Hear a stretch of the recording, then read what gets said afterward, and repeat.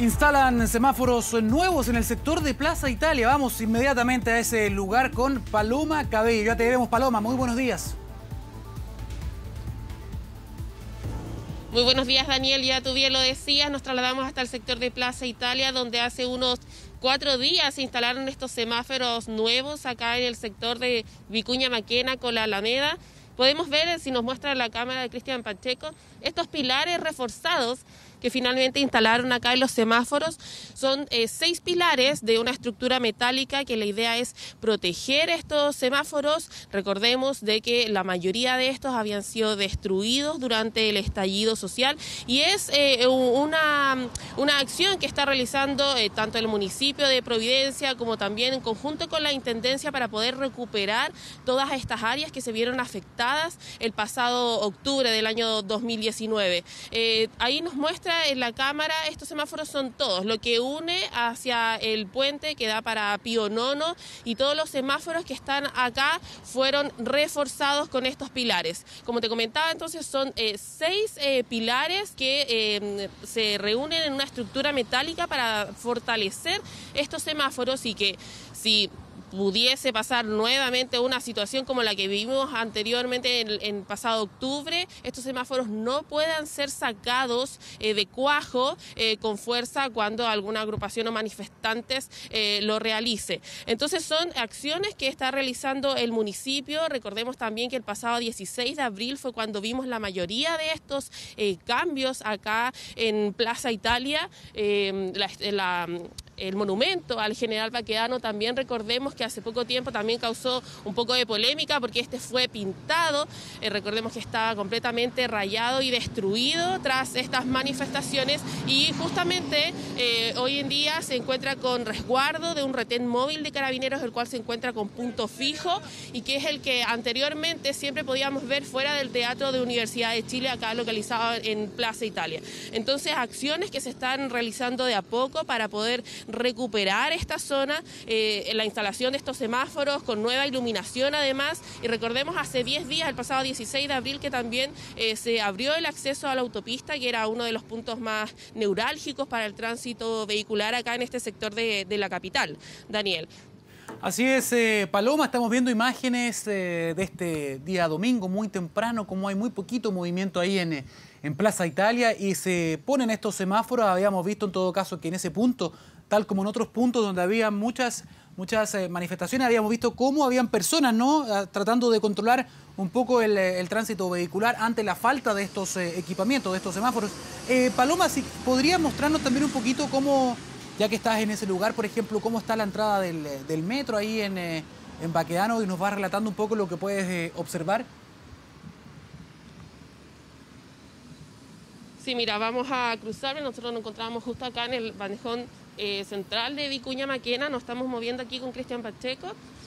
Lamentablemente este sector sigue, podemos ver aún los rastros de lo que fue el estallido social. Eh, lo que es la pavimentación acá de las veredas cercano a los paraderos aún no es restaurada y el ingreso que da justamente acá a Plaza Italia sigue en, las mismas condiciones que pudimos ver cuando se hacían estas grandes fogatas y se hizo esta destrucción masiva por este sector. Recordemos además que prontamente se va a abrir el acceso de Estación Baquedano, eh, pero es por el lado del Parque Bustamante, no justamente este de Plaza Italia, que ya la reconstrucción y la renovación de este sector va a tardar eh, muchísimo más de lo que... Eh, se puede contemplar. Y eso es lo que aún Metro de Santiago y las autoridades no, no han dicho y no han podido comunicar, porque la destrucción, podemos verlo ahí en las imágenes, es bastante. Acá eh, obviamente sigue todo cerrado con distintos eh, escritos y distintos grafitis que se han realizado. Si bien se han sacado algunas personas que, eh, personas en situación de calle que habían venido acá con algunas carpas a, a instalarse acá, a dormir y hacer un poco una vida diaria acá en este sector, eh, han sacado esas personas. Lamentablemente nosotros venimos desde el lado sur de Vicuña Maquena hasta acá la Alameda y eh, ese, todo ese sector de Vicuña Maquena continúa igual también con esta destrucción.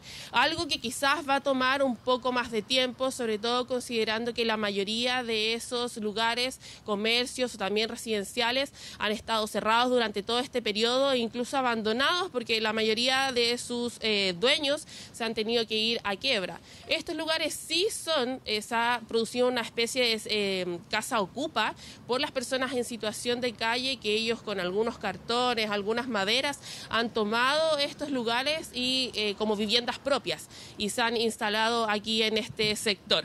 Sin embargo, lo que podemos apreciar acá más cerca, justo en la intersección de Avenida Vicuña Maquena con la Alameda, son justamente los paraderos de la locomoción que viene desde zonas como Puente Alto, San Bernardo, que pasan por acá para seguir por la Alameda hacia el poniente. Eh, podemos verlos que algunos fueron eh, pintados. Aquí Cristian Pacheco nos está mostrando justamente el que da la calzada eh, oriente de Vicuña Maquena remodelado también eh, su estructura. Recordemos que el pasado octubre también pudimos ver mucha gente que incluso se subía a estos paraderos dentro de las manifestaciones, los destruía, la iluminación y ahora también este sector al menos fue restaurado, pintado y remodelado para las personas que, independiente que nos encontremos en una pandemia, sabemos bien que es ya mayor la movilización y el tráfico de personas que debe continuar yendo a sus trabajos y que este sector obviamente es uno de los que ellos utilizan para seguir su trayecto y tomar eh, la locomoción colectiva. Ahora podemos apreciar el tráfico de este día domingo, ya son las 9.27 de la mañana, es menor. Eh, algunas personas que se encuentran acá. Paloma, algunas personas que se encuentran acá están esperando. Eh, cuéntame, Daniel. Sí, voy a abusar un poco más de tu buena voluntad y la de don Cristian Pacheco también para ver si pueden también dirigirse hacia donde está poco más cerca del monumento del general Baquedano. Entendemos que fue, fue pintado, fue remozado, pero te quería preguntar si en estos días en que la ciudad ha estado semidormida en varias comunas, sobre todo Santiago, ¿se puede ver algún tipo de brote, a lo mejor brote verde ahí en el, en el pasto de lo que es literalmente donde está, alrededor del, monumento.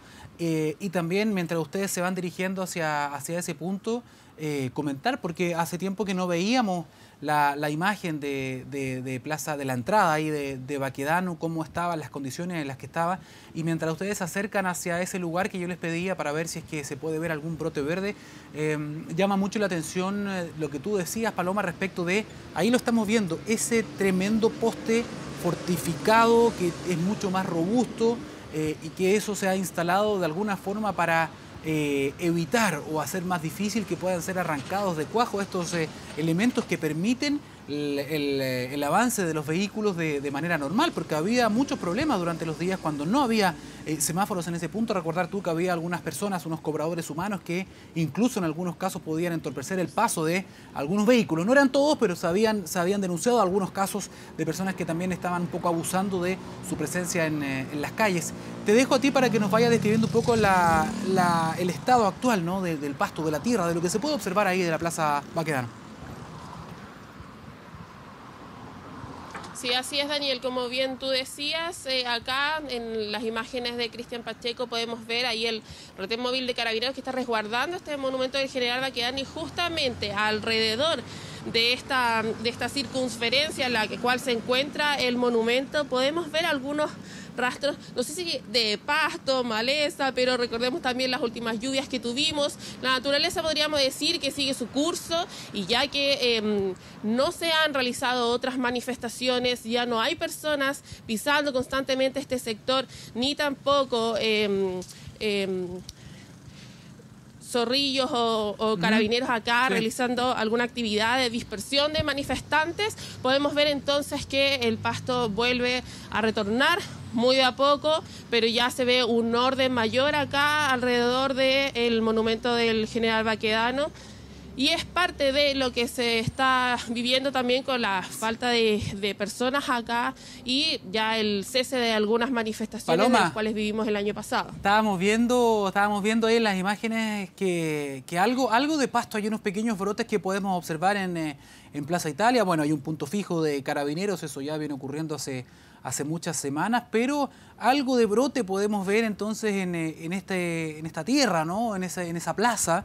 Eh, junto al, monumento del general Baquedano. Yo no sé si le puedes pedir nuevamente al señor Sánchez que, que se acerque también al, monumento para ver eh, el estado en el que está. Entendemos que había sido pintado nuevamente. para que puedan también ustedes acercarse y comentarnos un poquito respecto de eso. Bueno, no deja de ser también llamativo, o sea, recordemos que esta fecha no es cualquiera, estamos a 26 de abril, era, era hoy el día en que iba a haber una votación muy importante, era el día del, del plebiscito y por lo tanto nosotros asumimos que sin, el, sin la llegada de la pandemia, sin el coronavirus, probablemente este hubiese sido un día donde mucha gente hubiese estado también en las calles manifestando su forma de ver el, Chile que estaban tratando de conseguir, hubiesen estado quizá en este mismo punto muchas personas hoy día, no, no tendríamos estas calles tan vacías. Recordemos que hoy, insisto, era el día en que se había fijado inicialmente el plebiscito, ¿no?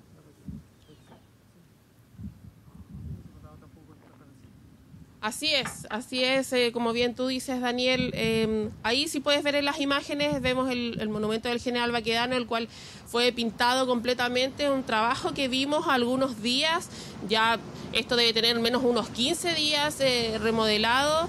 Em, podíamos ver en, ese, en esos entonces, en, octubre pasado, cuando la gente se subía incluso a este monumento, eh, le colocaban banderas, le colocaron un pañuelo que antes era la demostración del momento que estábamos viviendo hoy en día. Estamos enmascarados producto de esta pandemia del coronavirus, pero ahí podemos ver justamente, pintaron completamente el monumento, el mensaje aquí en cuanto eh, al general Baquedano, también lo que es eh, el, monumento en sí, el general arriba del caballo también fue eh, pintado y remodelado y eso es justamente lo que se pretende mantener. Recordemos que al inicio, cuando lo estaban restaurando, también llegaron nuevamente personas a rayarlo con spray, a mm, pintar y escribir algunas consignas, pero esto ya efectivamente em, se está resguardando y está pintado así. Causó polémica en su momento, hoy en día para quienes pasan por acá, algunas de las personas agradecen el hecho de que esto se vea un poco más normal, si es que podemos utilizar esa palabra hoy en día,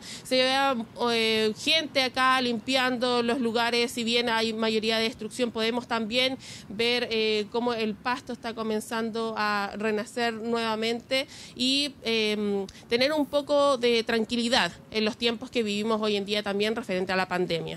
Muy bien, eh, Paloma, muchísimas gracias por, eh, por, ese informe. Algunos consideran que haber remozado el, eh, general la, estatua es también una provocación, a otros están de acuerdo. Bueno, hay muchas opiniones encontradas respecto a estos temas. por el momento te agradecemos este, este tremendo reporte, te hicimos caminar por todas partes ahí en Plaza Italia, en Plaza Baquedano, así que nos volvemos a reencontrar cuando la noticia así lo amerite. Buenos días. Buenos días.